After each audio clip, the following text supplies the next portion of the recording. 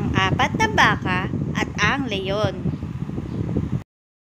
Isang araw, habang naglalakad ang leyon, nakadamay ito ng matinding gutom. Maya-maya, may nakita itong apat na baka. Ah, mukhang mapalad ako ngayong araw na ito. May apat na baka, malalaki at matataba pa ito. Dahan-dahang lumapit ang leyon sa apat na baka.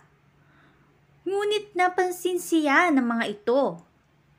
Kagad-agad, nagtalikuran sila ng pabilog. Pinagsama-sama pa nila ang kanilang mga buntot. Tuwing lalapit ang leyon ay lalong pinagdirikit ng mga baka ang kanilang likuran. Kahit saan umanap na magandang lugar ang leyon, hindi niya makuhang makalapit sa mga baka. Kaya umalis na lamang ito. Ma, akala siguro ng leyon madali nila tayo makakain.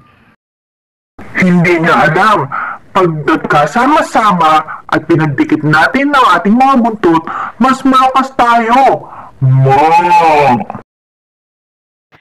Isang araw, nagtalo-talo ang mga baka at nagkahiwalay silang lahat. Nakita sila ni Leon at isa-isa silang sinugod nito at kinain. Ganito ang maaaring mangyari kung walang pagkakaisa at pagtutulungan. Kaya dapat ay may pagkakaisa at pagtutulungan ang lahat.